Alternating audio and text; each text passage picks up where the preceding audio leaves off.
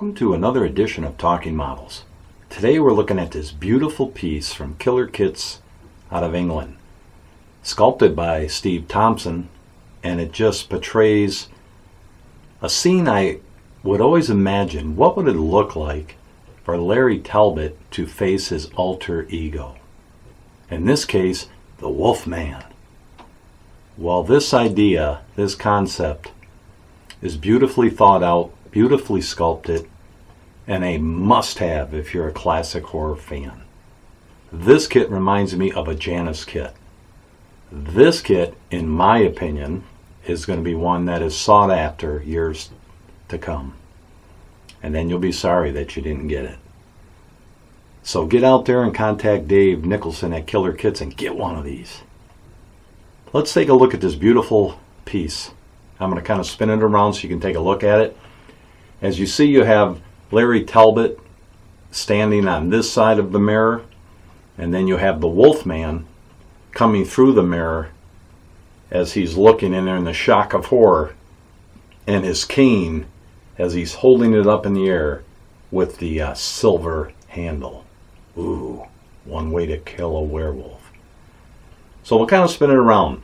So much going on in this. You have the mirror uh, piece, you have the base, you have the uh, shattered glass all on the bottom here, pieces of the glass that is still up in the mirror from him busting through. Uh, there's just so much there. The detail in the Wolfman's face, the detail in Larry Talbot's face, it's all there, guys. It's all there. A beautiful 1 6 scale resin kit. And uh, like I say, a must if you're a classic horror fan. Okay, so I'm going to go through what I did with this uh, beautiful piece. Everything was base coated in black. Of course, you first put your primer on, which I always use Krylon Automotive Light Gray as my primer. Love that primer. Now, of course, uh, Larry's face and hands were left with the gray auto primer. And I always enlist, this is my choice for using uh, for my base coat of black. I have used the um, primer from Badger and I've sprayed that on before. And sometimes I do spray that on, but I always come back and go over that with this. For me and my style, it builds up the coloring and it gives you a nice base coat. So we start with this. And what I like to do is I hand brush the whole piece. Everything is hand brushed with a nice big brush get it all covered. You might have to do a couple times because with uh, Wolfman there's a lot of hair detail. There's a lot of detail in the hair on Larry and you just want to make sure you get everything covered. So I'm going to start with the base. Over that black I listed a few colors. I use uh, Garage US Colors Transparent Burnt Umber, Transparent Yellow Orch, Transparent Dark Brown, and then I went over to the Freak Flex line and we got Road Rash Brown, Banshee or Turn Ghost White, Iridescent Blue. Wait, you'll find out. And then, of course, Transparent Payne's Gray. Now, I just started out with the base, uh, basically just airbrushing that over with the uh, transparent yellow orch. Started coming back in with the transparent colors, the raw umber, the dark brown, and just started getting different shades going and just kept going back and forth. Make sure you hit all the lines in the floor and the tiles, a lot of detail. That was done with dark brown, transparent, and then also some transparent black, another one of my favorite colors. You got to make sure you use that. And then what I like to uh, do is after I looked at it, I liked what it, I had going, but then I came back in with some Rotten Tooth Tan, which is also from the uh, Badger, which is uh, this color and I just kind of misted the centers of each tile. Just in the centers you want to have a nice little area there that kind of shows the color of the tiles in this case but then you can bring it back down with the transparent black the raw umber and the transparent dark brown. And that was all I did with the floor. All around the base of the flooring I just uh, shot that with the transparent black over the black and that finished off the flooring now for the glass, uh, went many different ways. Started out originally with uh, neutral gray, didn't like it. Then I decided to go a whole different way. So what I did with that is I enlisted this uh, turned ghost white. Shot each piece of the glass with that. In the mirror also, same thing. Then what I did is I came in with the natural color for me to shade white is transparent Payne's gray. Then I just started hitting all the lines. There's like little pieces of the brokenness in each piece of glass. I would just shade with that and also hit all the outer edges of the glass. You know, just to kind of give it a natural shading. Just kind of follow the glass. Anywhere you see splits in the glass, anywhere on the outside of the glass, hit it with that transparent Payne's gray. Then I got an idea.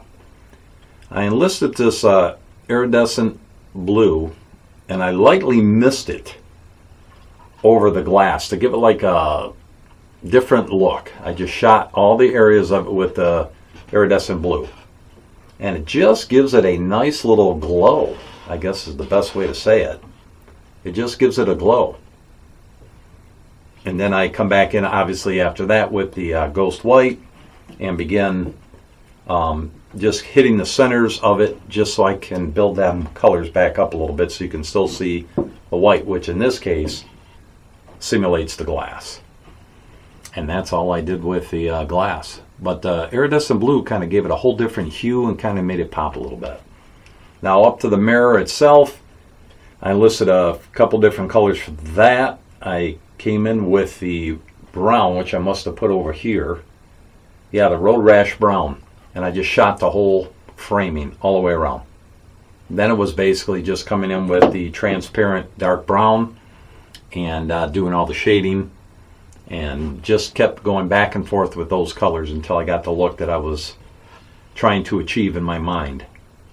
The nails, there's little nails on the bottom of these feet for the base of the mirror. And those I basically enlisted the Rotten Tooth Tan and just hit all those areas with that and then shaded it with the uh, transparent dark brown. And that was the mirror. Just kind of go back and forth with the process. Transparent dark brown, come back in with your original color you choose, which in my case was the Road Rash Brown. So now you have the base and the mirror done. Onto the figures. Over the black uh, for the Wolfman, for his shirt, we use the uh, dark red from Garage US Colors and begin just uh, hitting it, going completely over all the areas with it, over the black. Then I came in with the transparent black, started shading all the crevices.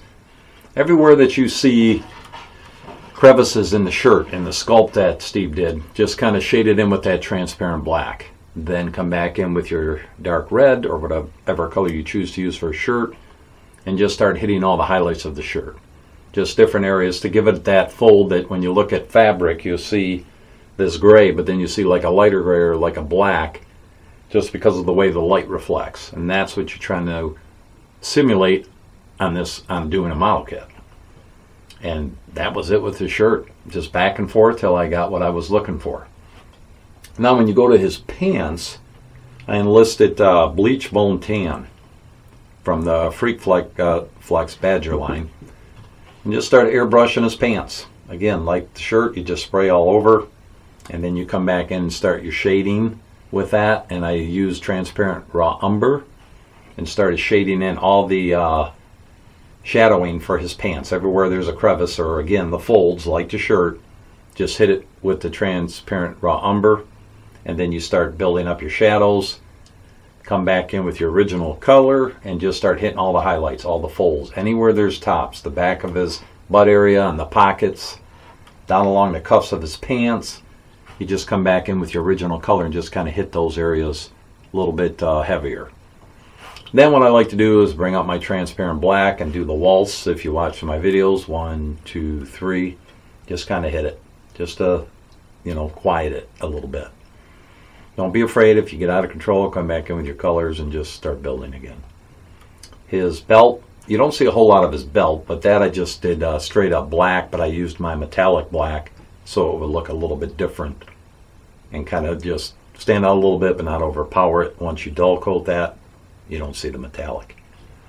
Now for his uh, skin on the Wolfman, for his hands and his face, I brought out uh, some couple colors from Garage US Colors medium African flesh and light African flesh. And basically, I started out with the medium flesh, shot all the areas of his face, his hands, you know, the palms, anywhere there's flesh on him, his feet, hit it with that. Then I come in with uh, transparent dark brown and start uh, doing some shadowing on the folds of his skin. Then you come back in with the light African flesh and just hit all the highlights top of the cheeks, top of the nose, palms, top of the fingers, anywhere that you would see it above his lips, uh, nose below it, just those little two areas, chin, and just kind of hit it with that. And then it's basically just shadowing, going back in with the transparent black, transparent dark brown, and get the look that you're looking for. Same with his ears. And then, of course, I come in with uh, some transparent Mars red and just hit below his eyes on each side. Hit his lips with that transparent Mars red. Again, that's from the uh, Garage US Colors, which is this color. And it just gives you a nice starting point to start building some red for that distress look. So a back and forth process, hit his mouth area a little bit heavier with that. Just inside the mouth, the tongue, which I came in with, that transparent Mars Red hit it a little heavier. His teeth was all hand brushed with Rotten Tooth Tan. And then you kind of just start making that, dirtying that up with transparent raw umber, transparent dark brown till you get the look you want. Same with his nails, same treatment. Uh, you want to use that rotten tooth tan and shade as you wish with transparent dark brown, dirty him up. I'm sure he didn't take care of himself. And then um, up for his eyes, I always like to uh, come in with that transparent Mars Red and get that color on the eye. And you always want to do that after you get your base color of the eye. In this case was bleach bone tan for his uh, eye color and then I came in uh, with the black and there's uh, did a pupil. There's no pupil in this. You create where you want them. Uh, took my time, made the circle. Then I enlisted uh, Freak Flex Got Ill Green, and I used that for his eye color. Just kind of put that in with a real fine brush. Always leave the hint of black. Do that in a couple times. Do it light coats, and then of course you come in with your pupil and dot it. My toothpick technique, I tried it, didn't get what I liked, had to wipe it off. So I brought out my really uh, finest regular brush I had and practiced a technique that when you're with an airbrush, I just held my hand, had them laying down on the table with a light on them, and I just kind of did a little, little circle. Took a couple times, but hey, you know, just kind of wipe it off, start again. And when I got what I liked, I called it done just accented a little bit more of that Mars red on the bottom of his eye, and his face was done. Now for his hair, I just enlisted this Ceramcoat, dark brown, and I just uh, started dry brushing all his fur. Everywhere there's fur, just hit it with the dry brush. Dry brush and dream, just going all over it and getting that hair to stand out. And then what I did is came back in with the transparent black and just misted it over just to kind of bring it down a little bit so it wasn't too stark. You can always quiet a dry brush down with whatever color you're doing or whatever project, just bring in like a transparent color, tone it down, build your color back up. And that was the Wolfman. Last but not least is uh, Mr. Larry Talbot. And for him, uh, over the black for his suit, I came in with uh, Garage US Rich Brown and just had a field day and started airbrushing his whole suit with that brown. Come in then with transparent uh, dark brown and started shading it, bringing it down, and just again following the sculpts and all the folds that Steve has. And anywhere there's a fold, build your shadow. And I use that uh, color to just keep going, shadowing it down, coming back in with the rich brown, hitting just the highlights of his suit, collar area, any highlight, hit it with it. Folds in his pants, a little heavier on the cuffs of his pants at the bottom by his feet. And then I kind of take my transparent black, mist it over the whole thing to quiet it down. And then the process of just shading with the transparent dark brown, highlighting with the rich brown, taming it down with the transparent black. It's a process. And then I came in with the rich brown and just kind of hit it heavier with a regular brush on all the buttons. And then again, a little mist of the transparent black quiets it down, but you can see a little bit of a contrast. His uh, feet on this, uh, his shoes, I'm sorry, I just uh, enlisted back and forth with transparents over the black, transparent dark brown, and just went back and forth, back and forth until I got the look I wanted. I just I wanted to keep it basic, but yet you could see a difference in it. His uh, cane, um, I used this uh, nice color from the Freak Flex uh, Silver Bullet, good movie, and I just airbrushed that over the black. Then I came back in with some silver from the Delta Ceramcoat and just hit, dry brush little highlights. For his cane, uh, just came in with that um, brown, rich brown, hit it with that, and just came in with transparent dark brown, transparent black, just worked it back and forth. Now for the skin on uh, Larry, I enlisted my flesh colors that I love so much from the Reaper Master Series. Talked about these before. You have tan skin, you have tan highlights, and you have tan shadow. Start out with your tan skin and just begin uh, hitting all all his flesh tones. Then the process begins. You come in with the tan shadow, of course, hit everywhere there's shadows. Then you come back in with the uh, tan highlight, got all the highlight areas like on the Wolfman, cheeks, nose, above the lips, the chin, fingers, uh, knuckles, palms, anywhere there's highlights, you come in with your lightest color, build those highlights. Then the trick I like doing is always come in with a brown pastel and I start uh, hitting hard with the lines by the hair. Uh, anywhere there's a crack or a crevice, I come back in and I hit that with that pastel. Work it in, work it in, work it in. And then what I like to do is I get it like a, um, sometimes it's a little lighter of a brown, and I take that pastel and I move it around the whole face. Just kind of tone it down, blow it off, tone it down, blow it off and then come back in with your colors. You, will see, you play around till you get the highlight that you're looking for. But that pastel kind of just blends everything in with the brown over the flesh and just gives it a the look that you see. I mean, it just gives it a nice finished look. His lips, and again below his eyes, same treatment as uh, his counterpart, the Wolfman, transparent Mars Red, airbrushed below, lips, and then you just kind of go over it real lightly with that um, tanned uh, flesh tone, the shadow, if you will. I thin that way down, just a couple little areas to over it, and then a real one, two, three waltz, mist it over the whole thing, ties it together. Eyes, bleach bone tan, and then it was just a matter of playing around with the different colors for um, his eye color you just pick whatever eye color you want on them. I just use like a lighter brown for this. Come in with the same process as the Wolfman. Finish the eye off. Called it done. Now for his hair, uh, over the black, I just airbrushed the transparent dark brown and just went back and forth. Transparent black over that, back and forth, back and forth, and called it done. It's kind of like a brownish black. But it gives it a nice contrast from the face to the hair. Then you can come back in and make sure you work that hairline, just kind of blend everything together. That was a lot of pastel work. And now, last but not least, we're going to look at his shirt. Uh, shirt was uh, just painted straight up with the Rotten Tooth Tan. And then uh, for his tie, I just basically enlisted this uh, Hammer Horror uh, Red from the Badger Freak Flex line and just hand painted that in. Then I just kind of mist it over lightly with the trans black to kind of bring it down a little bit. And that is the newest, one of the new kits from Killer Kits. I don't know if he really calls it a name. For me, it's uh, Talbot facing his alter ego, the Wolfman. Just a beautiful kit, a must-have for your collection.